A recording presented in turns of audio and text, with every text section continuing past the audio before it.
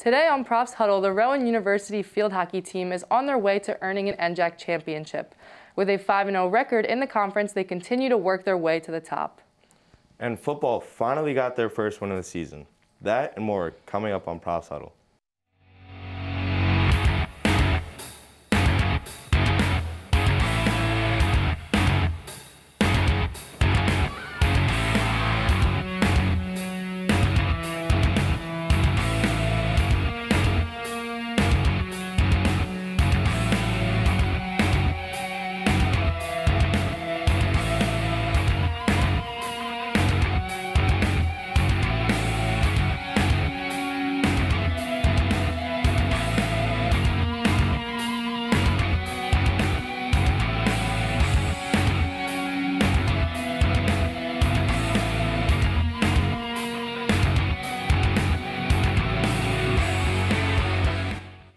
Hello, and welcome to another episode of Profs Huddle. I'm Jade Ionase. And I'm Trayvon Reed. The Profs have been busy this past week as multiple, as multiple teams secure spots in the NJAC tournament. Let's take a look at the women's soccer team.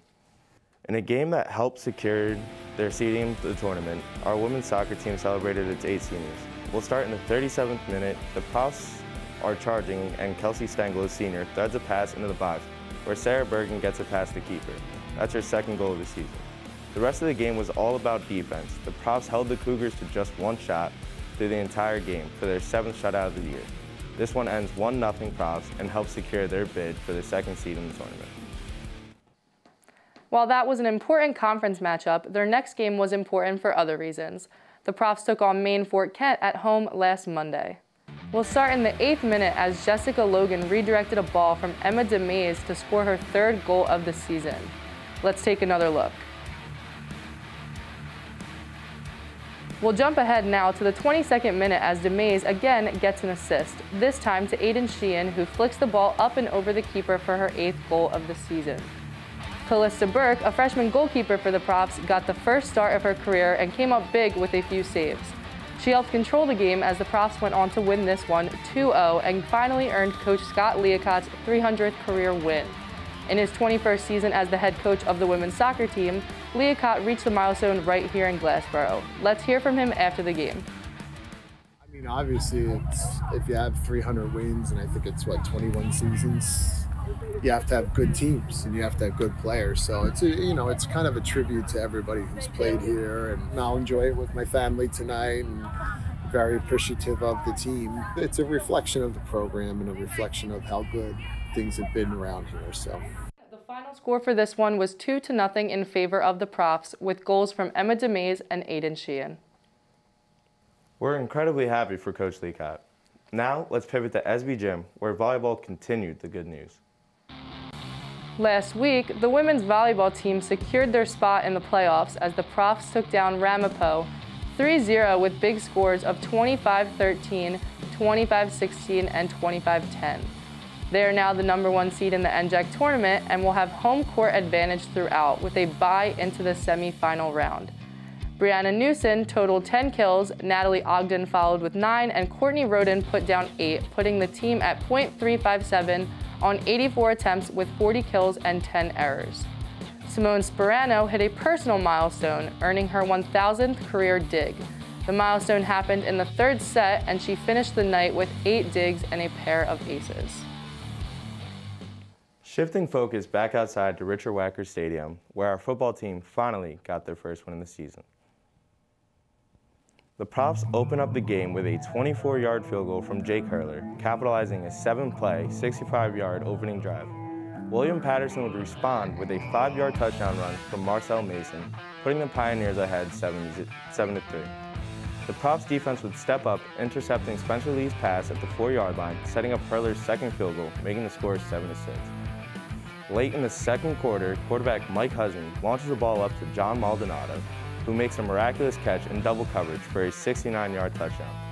Scoring isn't over yet as the Profs would take control of the game. Mike Husney would lead the Rowan offense down the field to begin the second half, capping a seven-play, 44-yard drive with a dive across the goal line, making the score 19-7. With a minute left in the game, Jake Hurler would drill a 30-yard field goal to end the game. The final score, Your Rowan Profs 25, William Paterson Pioneers 10.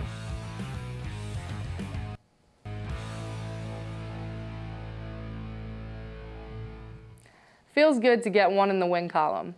Finally, our men's soccer team faced off against Montclair State on Saturday. This past Saturday, Rowan's men's soccer team celebrated their senior night with a matchup against the fifth-ranked Montclair State. All three seniors, Junior Miranda, Aaron Robertson, and James Weinberg, were honored for their last game of the regular season. In the 55th minute of the game, the Redhawks scored a goal and scored another eight minutes later, putting the Redhawks up 2 to 0. Then, in the 73rd minutes of the game, the Profs Matthias Carrion scored off a cross from Chad Yates, making it a 2 to 1 game. Prof senior James Weinberg worked hard in net, making seven saves for the Profs, and midfielder Luke Yates also made an amazing save for the Profs in the second half. But the Profs offense wasn't able to produce any more goals, ending the game 2 to 1.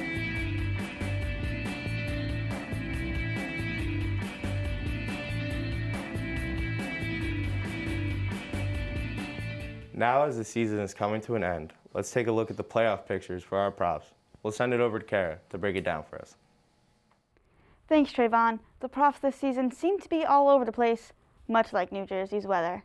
For the field hockey team, there's nothing but sunshine ahead as they clinch the first seed in the playoffs with their ninth straight win last Wednesday. The road to the championship runs through Glassboro's hockey pitch. Volleyball is right there with them, wall to wall sunshine inside Esby Gym as the Profs clinched the first seed last Tuesday the first round bye will help the ladies rest up and get ready to win their first conference title since 2004. The forecast is reading partly sunny for women's soccer as they hope for a first round bye. They need a win over Rutgers Camden in the last regular season game to secure the second seed.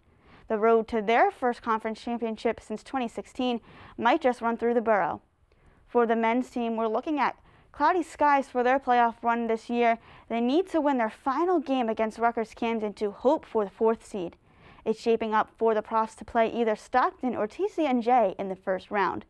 A heated rivalry between both schools could be the spark the Profs need to take them all the way and win the first time since 2003. And finally, if you have any spare umbrellas, send them over to Wackar Stadium because it's raining cats and dogs on the football team. We'll just leave it at that. Get those umbrellas out. Good luck to all the profs. We're rooting for you. Although fall sports are nearing the end, don't you worry, Rowan has still sports coming up in the winter. After the winter season was canceled in 2020, both the men's and women's basketball teams, swimming and diving team, and the track and field team will all be ready to get back out there and represent the profs this 2021-22 winter season. Speaking of a team that's ready to get back out there, coming off of their 2019 NJAC championship, Rowan's women's basketball team is ready to take the court once again. I recently spoke with head coach Poles and captain Grace Marshall to discuss the impact of losing last year's season and what the team has to look forward to in 2021-22.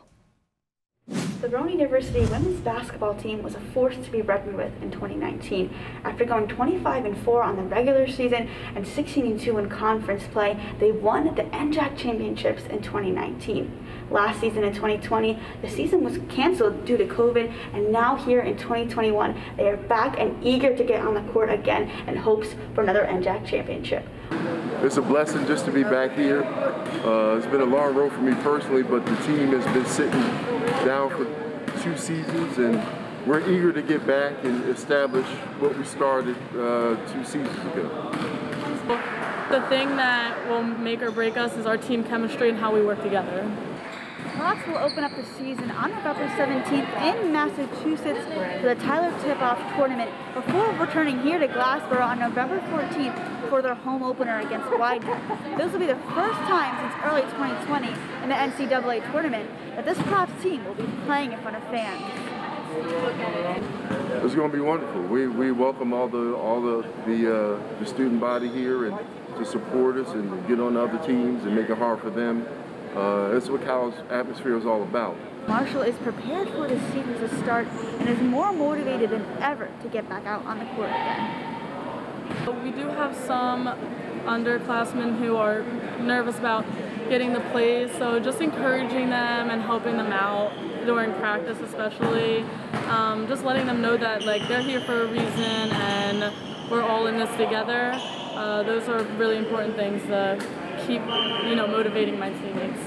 As the clock winds down for the season approaching, both Coach Poles and Marshall feel prepared as the season begins to start.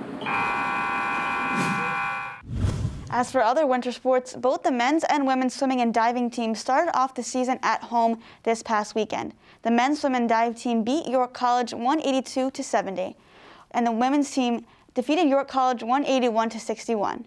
Both the men's and women's basketball teams will compete in their home openers on November 17th. And now back to you, Trayvon and Jade. Thanks, Kara. I want to wish a good luck to all of our profs in their playoff runs.